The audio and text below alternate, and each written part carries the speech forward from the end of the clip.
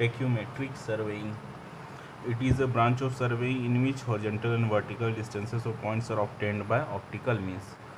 इसका अर्थ है कि जैसे हम लोग को ए से बी के बीच क्या करना है? ए बी के बीच डिस्टेंस निकालना है, ठीक है? तो नॉर्मल हम लोग क्या करेंगे? चेन या टेप यूज़ कर सकते हैं। लेकिन बीच में कोई ऑब्स्टेकल्स है। तो क्या होगा? चेनिंग हम लोग नहीं कर पाएँगे। तो वैसे केस में हम लोग डिस्टेंस निकालने के लिए टेक्यूमेट्री का यूज़ करते हैं, ठीक है? तो कब कब इसको यूज़ करते हैं, जहाँ चेनिंग करना डिफ़िकल्ट है, जहाँ बीच में कोई ऑब्स्टेकल हो ब्रोकन ग्राउंड में या फिर ग्राउंड बहुत ज़्यादा स्टीप हो, बहुत ही इंक्लिनेशन हो, ठीक है? जैसे हिल एरियाज़ है और फिर बीच में कोई वाटर बॉडीज़ हो, इस टाइप ठीक है? तो इसका एक्यूरेसी कितना होता है? वन इन थाउज़ेंड कि अगर हम लोग थाउज़ेंड मीटर लेंथ लेंगे तो एक मीटर का एरर आ सकता है प्लस माइनस में। अब टेक्यूमेट्री का यूज़ हम लोग नॉर्मली कब करते हैं? इसका यूज़ हम लोग कंटूर मैप को बनाने में करते हैं। कंटूर मैप क्या है?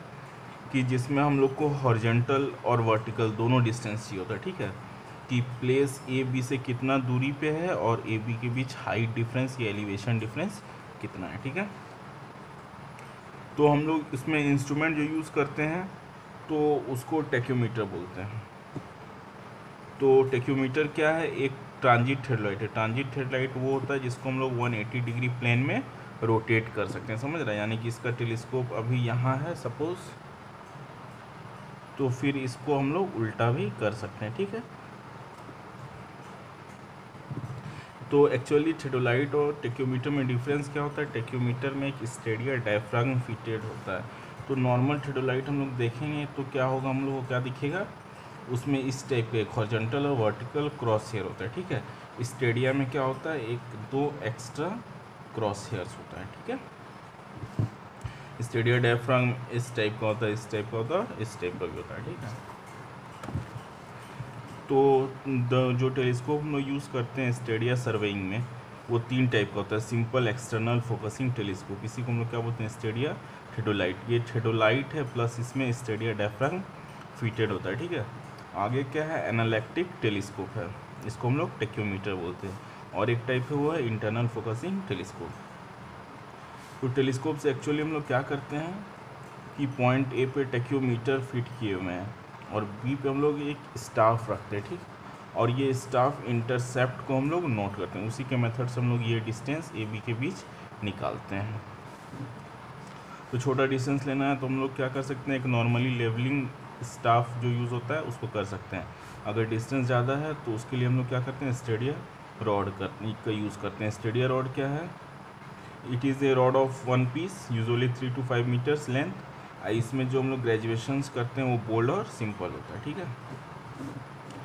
तो टेक्योमीटर का अलग अलग मेथड्स होता है तो पहले स्टेडिया सिस्टम इसमें फिक्स्ड हेयर मेथड और stadia method mobile hair method और सब्सटेंस मेथड दूसरा है टेंजेंशियल सिस्टम तीसरा है मेज़रमेंट बाई मीन्स और स्पेशल इंस्ट्रूमेंट तो तीनों को हम अलग अलग टाइप से भी देखेंगे। आगे है प्रिंसिपल ऑफ़ स्टेडिया थेडोलाइट तो ये किस मेथड पे काम करता है? तो ये इस मेथड पे काम करता है कि दो सिमिलर आइसोसेलस ट्रेंगल में परपेंडिकुलर और बेस का हाइट क्या होता है? कांस्टेंट होता है, ठीक है? तो मान लेते हैं कि ओ ए और O B O A and O B are two rays दो लाइट का रेज है, जो एक सेंट्रल लाइट का रेज ओ सी से इक्वली इंक्लाइंड है। ये angle A O B angle A O B बराबर कितना है? बीटा है। ठीक है तो एंगल ए ओ सी ये हो जाएगा बीटा बाय टू ठीक है? तो इस प्रिंसिपल को यूज़ कर रहे हैं कि ratio perpendicular to base to similar triangles में। तो सिमिलर ट्रेंगल कौन सा है? O A two B two दूसरा सिमिलर ट्रेंगल है O A one B one तीसरा है ओ ए बी ठीक है? तो तीन ट्रायंगल है। तो इसमें क्या होगा? Perpendicular O C two by base A two B two O C two by A two B two equal होगा किसके? इसका perpendicular O C one by A one B one ठीक है? और तीसरा ट्रेंगल ये सिमिलर ट्रेंगल है। तो इसका perpendicular O C by A B ये तीनों किसके बराबर होगा? एक कांस्टेंट के बराबर होगा, ठीक है? तो वही है ओ ए और ओ बी के बीच एंगल कितना बन रहा है? बीटा बन रहा है। तो in triangle O A to और सी टू इस वाले ट्रायंगल में ओ ए टू सी टू तो इसमें टेन बीटा बाई टू यानी perpendicular A two C two by base O C two फिर आगे है O C two is equals to फिर यहाँ से हम लोग क्या निकाल रहे हैं ना? ओ सी टू को निकाल रहे हैं। तो O C two equals to A two C two by tan beta by two तो ओ सी टू से यहाँ हम लोग को ये निकल जाएगा, ठीक है? अब आगे है ये O C two A two C two तो A two C two is equals to half A two B two इसको तो A two C two is equals to half A two B two को इसमें डालेंगे, ठीक है? तो यहाँ हम लोग डालें ए टू सी टू की जगह half A two B two तो ये हम लोग को क्या आ जाएगा? O C two by A two B two इधर आया तो ये क्या हो जाएगा? Half cot beta by two ये क्या हो जाएगा? के ये क्या है? कांस्टेंट है, ठीक है? ये कांस्टेंट किस पे डिपेंड करेगा? ये बीटा के वैल्यू पे डिपेंड करेगा। तो नॉर्मली हम लोग बोलते हैं कि टेक्योमीटर में ये कांस्टेंट हंड्रेड होना चाहिए। तो ये हंड्रेड कब होगा? जब बीटा का वैल्यू हो जाएगा thirty four minute, twenty two point six four second, ठीक है? Zero degree, thirty four minute, twenty two point six four second. तो उस केस में के का वैल्यू आ जाएगा हंड्रेड। और अगर के का वैल्यू हंड्रेड है, ठीक है? तो एक बार देखते हैं। इसका अर्थ क्या है? O C two by A two B two O C two by A two B two is equals to R I suppose hundred तो ओ सी टू बराबर hundred A two B two उसी तरह ये O C बराबर ओ C बराबर, फिर O C by A B is equals to hundred ना? फिर उसी तरह हो जाएगा O C by A B is equals to hundred ठीक है? तो ओ सी बराबर क्या हो जाएगा? हंड्रेड डॉट ए बी इसका अर्थ क्या है कि हमारा डिस्टेंस स्टाफ हमारा डिस्टेंस जो है, ये ओ सी डिस्टेंस है। ये स्टाफ इंटरसेप्ट के सौ गुना हो इसको आगे भी देखेंगे ठीक से, ठीक है? तो अब हम लोग ये, यहाँ पर क्या कर रहे हैं? टेक्योमीटर है सपोज़ और ये क्या है? स्टाफ इंटरसेप्ट है। तो टेक्योमीटर और स्टाफ के बीच का दूरी जो स्टाफ इंटरसेप्ट है, उसके हंड्रेड टाइम्स इसको अभी आगे भी देखेंगे। तो लाइन ऑफ़ साइट कोई ज़रूरी नहीं हो, हमेशा वो हॉरिजॉन्टल हो इंक्लाइंड लाइन ऑफ़ साइट भी हो सकता है। यानी कि टेक्योमीटर को हम लोग हमेशा सीधा ही नहीं रखें, ठीक है? इसको हम लोग इस टाइप इंक्लाइंड भी ले सकते हैं। ये डिपेंड करेगा कि सामने का जगह अगर अगर सपोज़ हम लोग इस टाइप के एरिया में रख रहे हैं तो यहाँ अगर हम लोग स्टाफ रखें, ठीक है? यहाँ हमारा टेक्योमीटर है तो इस केस में हमको क्या करना पड़ेगा? टेक्योमीटर को इंक्लाइन रीडिंग्स लेना पड़ेगा।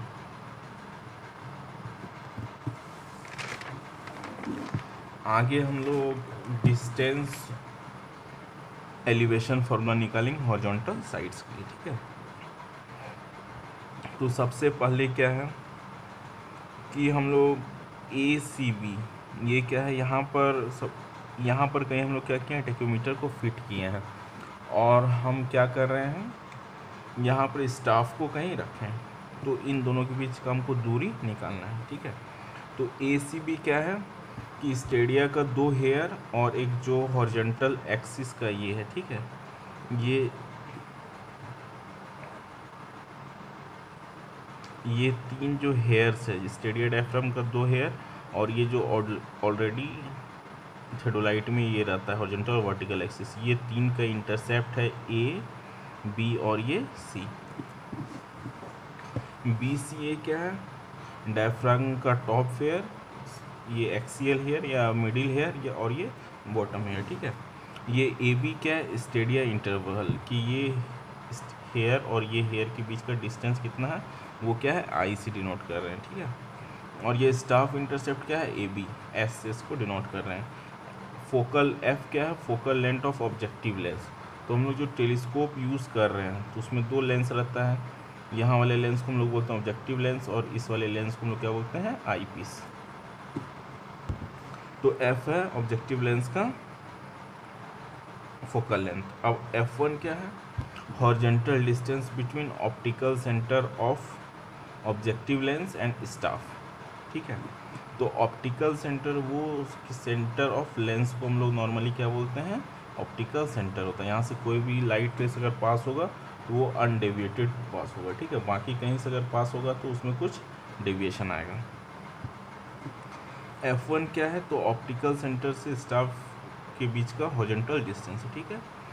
एफ़ टू क्या है, कि ये ऑब्जेक्टिव ये टेलीस्कोप का ऑब्जेक्टिव है, ठीक है?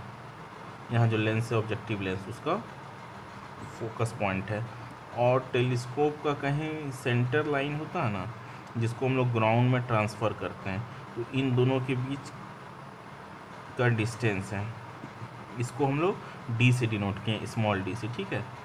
और फिर कहीं पर यहाँ पर स्टेडिया हेयर्स है, यही फिटेड है, यहाँ पर स्टेडिया डायफ्राम है तो इसके ऑब्जेक्टिव के सेंटर से, ये फोकस से, यहाँ तक के डिस्टेंस को हम लोग एफ़ टू बनाए हैं। और वही बता रहे थे ऑप्टिकल सेंटर और centre of theodolite optical centre और ये टेक्योमीटर के सेंटर को, ठीक है? ये स्मॉल डी डिस्टेंस नोट कर रहा है। और कैपिटल डी क्या है? कि यहाँ से जो ग्राउंड पॉइंट को हम लोग ट्रांसफ़र करते हैं, वहाँ से लेकर के जहाँ पर हम लोग रखे हुए हैं स्टाफ को। ये डिस्टेंस डी हमको यही डिस्टेंस निकालना है। यही बताएगा कि हमारा यहाँ से यहाँ तक कितना दूरी है। दो स्टेशन के बीच का दूरी कितना है, ठीक है? डी क्या है? Horizontal distance of the staff from vertical axis of the instrument और एम है सेंटर ऑफ़ इंस्ट्रूमेंट तो ये दोनों ट्रेंगल ये ट्रेंगल ए ओ बी और ये ट्रेंगल ओ बी ए इन दोनों ट्रेंगल क्या है? सिमिलर ट्रेंगल है, ठीक है? तो सिमिलर ट्रेंगल में क्या होगा? ये डिस्टेंस ये वर्टिकल डिस्टेंस है, ठीक है? तो ये distance F two by F one F one by F two ठीक है? यानी कि इन दोनों ट्रेंगल में लोग देख रहे हैं ना? और इस ट्रेंगल में।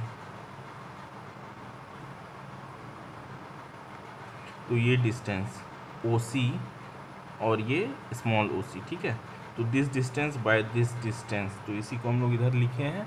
F one by F two is equals to similar triangles में है तो यानी ये डिस्टेंस ये डिस्टेंस बाई ये distance is equals to this by this तो F one by F two is equals to S by I S क्या है? स्टाफ इंटरसेप्ट है. आई क्या है? स्टेडिया इंटरवल है, ठीक है? तो लेंस फॉर्मूला हम लोग जैसे कि जानते हैं one by F is equals to one by F one plus one by F two होता है। तो दोनों साइड्स को एफ़ एफ़ वन से मल्टीप्लाई करेंगे तो हमारे पास आएगा एफ़ वन ये F plus F one by F two dot F और हमको F one by F two is equals to S by I यहाँ से पता है। तो F one is equals to हो जाएगा F plus F one by F two हो जाएगा एस बाई आई एफ़ ठीक है? और फिर देखो। ये डी जो है, ये डिस्टेंस है कहाँ से कहाँ तक है? यही तो टोटल डिस्टेंस है जो हमको मेज़र करना है। तो ये एफ़ वन प्लस डी ये लार्ज डी बराबर F one plus small D तो हम लोग क्या किए? यहाँ लिखे लार्ज डी बराबर F one plus small D F one हमको ऑलरेडी यहाँ से पता है। तो एफ़ वन में वैल्यू डाले F plus S by F plus D तो ये फिर इसको सॉल्व किए। ये ये को एक जगह में एफ़ प्लस डी लिखे। और फिर ये इसको F by I S plus F plus D के ठीक है? तो ये हमारा एक कांस्टेंट हो गया क्यों? क्योंकि किसी भी ऑब्जेक्टिव लेंस जो है हमारे टेकोमीटर में फिटेड उसका फोकल लेंथ कांस्टेंट है और स्टेडिया इंटरवल जो यहाँ पर है, यानी कि इनके और इनके ये डिस्टेंस ये तो कांस्टेंट रहेगा स्टेडिया डायफ्राम है तो ये दोनों क्या है? कांस्टेंट हो दिस बाय दिस भी कांस्टेंट होगा। और ये एफ़ प्लस डी यानी कि focal length of objective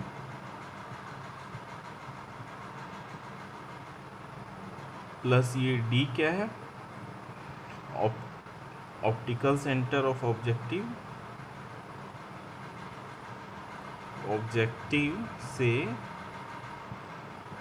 instrument का सेंटर पॉइंट ये दोनों भी कांस्टेंट है, ठीक है? तो ये दोनों भी एक कांस्टेंट हो जाएगा। तो इसी को हम लोग लिखे हैं एफ़ बाय आई को के लिखे हैं और सी के जगह क्या लिखे हैं? एफ़ प्लस डी तो ये हमारा डिस्टेंस फार्मूला निकल गया। इसको हम लोग यूज़ करके क्या कर सकते हैं? स्टेशन ए और स्टेशन बी के बीच का डिस्टेंस निकाल सकते हैं। तो इसी इक्वेशन को क्या बोलते हैं? Distance equation constant K equals to F by को हम लोग बोलते हैं मल्टीप्लाइंग कांस्टेंट और कांस्टेंट एफ़ प्लस डी को हम लोग क्या बोलते हैं? एडिटिव कांस्टेंट तो बेसिकली टेक्योमीटर में हम लोग क्या करते हैं? ये सपोज़ हमारा टेक्योमीटर है। ये हमारा ऑब्जेक्टिव लेंस है यहाँ, ठीक है? यहाँ पर कहीं सेंटर ऑफ़ इंस्ट्रूमेंट है। इसको वर्टिकल एक्सिस ऑफ़ टेटोलाइट भी बोलते हैं वर्टिकल एक्सिस ऑफ़ टेक्यूमीटर यहाँ पर हमारा कहीं स्टेडिया डायफ्राम फिटेड है, ठीक है? यहाँ पर आई पीस है। तो सपोज़ ये स्टेशन ए है, जहाँ डिस्टेंस मेज़र करना वहाँ हम लोग एक स्टाफ लगाते हैं। और यहाँ से ये एक इंटरसेप्ट लेता है, ठीक है? इसके करस्पॉन्डिंग ये और इसके करस्पॉन्डिंग ये। तो हम लोग क्या करते हैं कि टेक्योमीटर से देख के ये स्टाफ इंटरवल को निकालते हैं। तो दोनों रीडिंग है। हमारा ऑब्जेक्टिव लेंस आई पीस पे यहाँ पर हमको दिख जाएगा कि यहाँ कितना है। सपोज़ यहाँ थ्री मीटर है, यहाँ पर टू मीटर है। तो स्टाफ इंटरवल हो जाएगा वन मीटर। बस फिर कुछ हमको नहीं करना, इस फॉर्मूला में बैठाना है। तो के हमको पहले से पता रहेगा। एस के जगह हम लोग वन लिखेंगे प्लस सी भी पहले से पता रहेगा। तो हमको हॉर्जेंटल डिस्टेंस मिल जाएगा, ठीक है? तो यही हो जाएगा horizontal distance between station A and B